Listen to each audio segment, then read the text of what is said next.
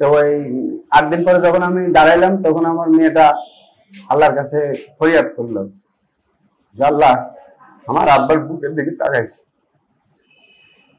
তারপরে অনেক খুশি আমি। এরপরে আস্তে আস্তে আমি এই অবস্থা আছি। আমার এখন খুবই ভালো লাগতেছে। আসসালামু আলাইকুম। আমার নাম মোহাম্মদ হোসাইন খান। আমার গ্রামের বাড়ি নাটক আমি একটা জব করি, এটা টঙ্গিতে। আমি ডিপিআরসি হাসপাতালে এসেছিলাম প্রথম। কিছু সমস্যা নিয়ে। সমস্যা ছিল আমার কাছে বড় জটিল। আমি হাঁটতে পারতাম না, বিছানা থেকে উঠতে পারতাম না, অন্যের সহযোগিতা ছাড়া দাঁড়াতেও পারতাম না। দীর্ঘদিন ডাক্তার স্যারের নিবিড় পর্যবেক্ষণে আর থেরাপিস্টের আন্তরিকতায়, সবার সহযোগিতায়। এখন আল্লাহ রহমতে আমি অনেকটাই ভালো। আশা করতেছি পরিপূর্ণ সুস্থতা হব, সবই আল্লাহর ইচ্ছা। আমি দোয়া করি ডাক্তার স্যারকে আল্লাহ যেন দীর্ঘজীবী করে, উনি যেন মানুষকে আরও সেবা দান করতে ছিলাম, মনে আছে ওই দিন আমার সঙ্গে আমার ওয়াইফ ছিল, আমার বড় ভাই ছিল। তো অনেক কষ্ট করে আমাকে উপরে উঠাইছিল, হুইল চেয়ারে। আমি নিজে দাঁড়াইতেও পারতাম না। ওনাদের সহযোগিতায় ইভেন আপনি নিজেও ধরছেন আমাকে ওঠার দাঁড়ানোর জন্য। তো সেই অবস্থা থেকে আমি ভাবতেও পারি নাই যে আল্লাহ তালা আমাকে এই অবস্থানে আনবে। সবই আল্লাহর ইচ্ছা, মানুষের চেষ্টা। তবে এখানে আইসা আসার পরে আমি সুচিকিৎসা পাইছি। আমি গার্মেন্টসে চাকরি করি। ওখানে আমার কাজটাই সবসময় হাঁটা চলার উপরে। আর চলতে ফিরতে অনেক কষ্ট হতো আমি নামাজ পড়তে পারতাম না। অনেক ব্যথা হতো তো আমি একজন মেডিকেল মেডিসিন বিশেষজ্ঞ ডাক্তার দেখালাম, তো উনি ট্রিটমেন্ট দিল, ওষুধ খেলাম, কমে গেল। তো দীর্ঘদিন প্রায় ওনার কাছে প্রায় আড়াই দুই আড়াই বছর আমি খেলাম, তাই এইভাবে ব্যথা কমলো। ব্যথা বাড়ে, আবার দেখা করি, আবার ওষুধ চেঞ্জ করে দেয়। এইভাবেই চলতে চলতে হঠাৎ খুবই অসুস্থ হয়ে পড়লাম মানে খুবই ব্যথা, দাঁড়াতেই পারি না।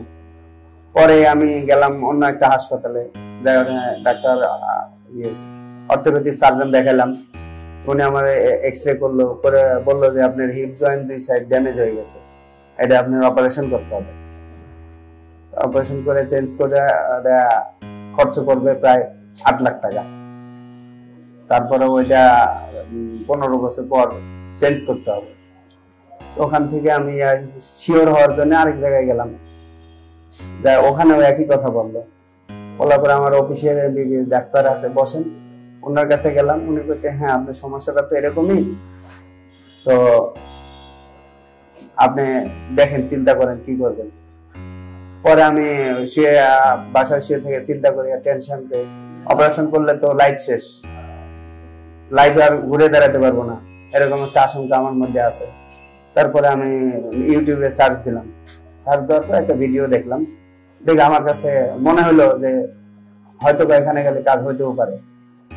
তারপর আমি বিভিন্ন জায়গায় বিভিন্ন লোকের লোকের মারফতে খোঁজ খবর নিলাম যে আসলে ঘটনাটা কি ইউটিউবে, এটা কি ভুয়া না সত্য? পরে জানলাম যে না, আসলে এটা সত্য। পরে আমি আসলাম সিরিয়াল দিলাম। সিরিয়াল দেওয়ার পরে ডাক্তার স্যারের দেখালাম। উনি আমাকে দেখল, প্রায় অনেকক্ষণই দেখল। দেখার পরে আমাকে বিভিন্ন রকম টেস্ট দিল। টেস্ট দেওয়ার পর ওই দিন আর কোনো ওষুধ দেয় দিল না। বলল যে আপনি বাসায় যান, কালকে আসেন। রিপোর্ট নিয়ে আর দেখা করেন পরে রিপোর্ট নিয়ে দেখা করলাম। দেখা করার পরে উনি আমাকে ওষুধ দিল। উনি বলল যে, আপনি সমস্যা, ওনারা যেটা বলছে সেটাই। তবে ওনারা বলছে অপারেশন আর আমি বলতেছি ওষুধের দ্বারাই আমি চেষ্টা করব ঠিক করার জন্য। বাদ বাকিটা আল্লাহর ইচ্ছা, আপনার ভাগ্য। তো এই কথায় একটু আশ্বস্ত হয়েছি আমি। হওয়ার পরে ওনার মানে ওষুধ দিল, দিয়ে ভর্তির কথা বলল। পনেরো দিন ভর্তি হয়ে তো আমি পনেরো দিন ওই সময় ভর্তি হওয়ার মতো অ্যাবিলিটি আমার ছিল না। তো আমি বললাম যে, স্যার, এখন তো আমি পারতেছি না। আমার তো সময় লাগবে। তো আচ্ছা ঠিক আছে, তাহলে আপনি বাসায় বসে ট্রিটমেন্টটা নেন, ওষুধটা নিয়মিত খান, আর যত দ্রুত সম্ভব আপনি ভর্তি হয়ে যান। পরে আমি এই ওষুধ খাওয়ার পরে দুই তিন দিনের মধ্যেই আমি মোটামুটি একটু ব্যথা কম হলে, আবার ডিউটি শুরু করলাম অফিস যাওয়া, যাতায়াত শুরু করলাম। আট দিন, সাত দিন ডিউটি করলাম। করার পরে হঠাৎ প্রচণ্ড ব্যথা, আর উঠতেই পারিনি। পরে যা বিছানায় শুয়েছি তো শোয়ার পরে ওই শোয়াই, আর উঠতে পারিনি। পরে অনেক কষ্ট করে কিছু টাকা পয়সা জোগাড় করে আসলাম স্যারের কাছে। ওই দিনই আমার ভর্তি দিয়ে দিল প্রথম। ভর্তি হওয়ার পরে তো ট্রিটমেন্ট শুরু হলো। প্রথম তিন চার দিন তো খুবই কষ্ট হয়েছে ট্রিটমেন্ট নিতে। তারপরে আস্তে আস্তে আস্তে আস্তে আস্তে আস্তে, আজকে এই- পর্যায়ে আছে। একজন গরিব মানুষ, আমি একটা ছোট চাকরি করি আর আমার পরিবারের উপার্জনক্ষম ব্যক্তি আমি। তো যখন অন্যান্য ডাক্তারে বলল যে অপারেশন করতে হবে, এত টাকা লাগবে, তারপরও আবার এতদিন পরে চেঞ্জ করতে হবে সেই সময় আমি জীবনের প্রতি অনীহা এসে গেল। চিন্তা করে গেলাম যে আমি কি করব? আমার তো এমন কিছু করে না যে যে কোনো একটা ট্রিটমেন্ট করার পরে আমার সুস্থ না হলে আবার আরেকটা করব, আরেকটা সিদ্ধান্ত নেব এরকম কিছু কোনো ক্ষমতা নেই। তো অনেক চিন্তা ভাবনা করতে থাকলাম এর মধ্যে সারের সন্ধান পেলাম ইউটিউবের মাধ্যমে। তার সন্ধান পাওয়ার পরে আসলাম। আসা যেদিন ভর্তি হলাম ঠিক অষ্টম দিনের মাথায় আমি উঠতে পারলাম। ভর্তি হওয়ার অষ্টম দিনের মাথায় উঠতে পারলাম। এরপরে তো আপনি একদিন আসলেন। আসার আসার পরে তো দেখলেন আমি আমি ডাক দিয়ে আপনার দেখালাম, দেখেন আমি হাঁটতে পারতেছি। তো ওই আট দিন পরে যখন আমি দাঁড়াইলাম, তখন আমার মেয়েটা আল্লাহর কাছে ফরিয়াদ করল। আল্লাহ আমার আব্বার বুকের দিকে তাকাইছে। তারপরে অনেক খুশি আমি। এরপরে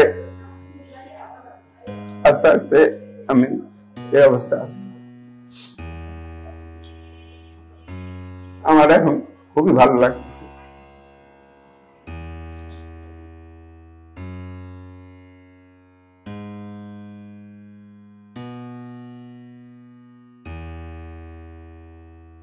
আমি অনেক খোঁজ খবর নিয়ে, অনেক চিন্তা ভাবনা করে এসে এখানে ভর্তি হয়েছি।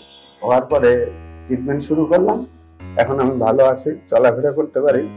এখন আমি বসে নামাজটাও করতে পারি। দাঁড়ায় করতে পারি না, কিন্তু বসে নামাজটা করতে পারি। সিঁড়ি বাই নামতে পারি। উঠতে পারি না, অনেক কষ্ট হয়। তো স্যারে বলছে, এটাও পারবেন আর কিছুদিন সময় আপনার, আমাদের দিতে হবে। তাহলে আপনি এটাও পারবেন। আপনি পরিপূর্ণ স্বাভাবিক হয়ে যাবেন। পরিবেশ যথেষ্ট ভালো আছে, পরিষ্কার, পরিচ্ছন্ন আছে, নিরাপত্তাও আছে।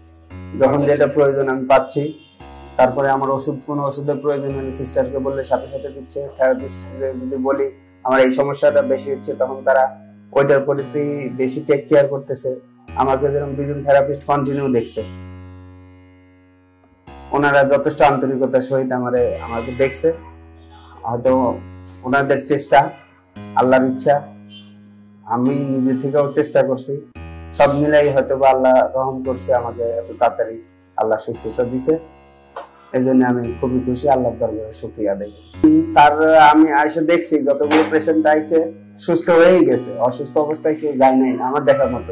এখানে এসে মোটামুটি আমি এই আজকে বিশ একুশ দিনে মাথায় যা দেখছি প্রায় দশ বারো জন লোক রোগী গেছে।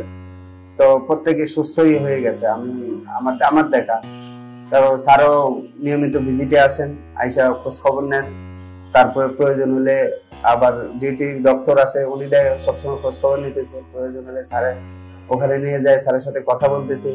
স্যারে দেখতেছে, বিভিন্ন রকম অ্যাডভাইস করতেছে। যখন যেটা প্রয়োজন তখন সেটা দিচ্ছে। সব কথা সব কথা মিলাই এখানে যত্ন সহকারে চিকিৎসা করা হয়। আমার বাবা অসুস্থ হয়ে গেছিল। আমরা বাবাকে এই হসপিটালে নিয়ে আসলাম। বাবা ট্রিটমেন্ট নিয়েছিল। তারপরে বাবা কিছুদিন পরে আমার বাবা হালকা হালকা হাঁটতে পারছিল। আমার বাবা যখন হাঁটতে পারছিল, তখন আমার অনেক ভালো লাগছিল। এটা আমার অনেক খারাপ লাগতো। বাবা আমাকে স্কুলে দিয়ে আসতে পারতো না, আমার সঙ্গে খেলাধুলা করতে পারতো না। এটা আমার অনেক খারাপ লাগতো। আমার বাবাকে আমার এখন অনেক ভালো লাগছে। স্যার যখন আমার আব্বুকে সুস্থ করে দিয়েছে আমি স্যারকে ধন্যবাদ জানাই। স্যার যেন এরকমই এরকম ভাবে পেশেন্টদের সেবা করতে পারে এই জন্য আমি দোয়া করি। আজকে ফজর নামাজ পড়ার পরে আধা ঘণ্টা ওই করাইছে ওই করে। আবার মাগরিবের পরে ওই শুরু করে। এটা আমার অমূল্য সম্পদ।